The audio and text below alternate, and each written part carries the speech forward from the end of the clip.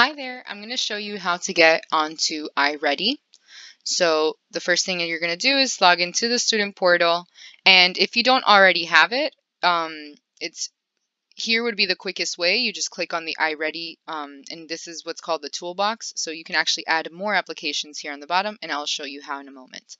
Um, so this would be the quickest way to get to iReady, but if you don't have it there at the bottom, then what you're going to do is click over here at App Services Sites once it loads, you're going to scroll down and you're going to find iReady. Now you see how this one has the yellow star next to it? It means that this one will be saved onto the toolbox. If I were to take it away, then this would not be here anymore.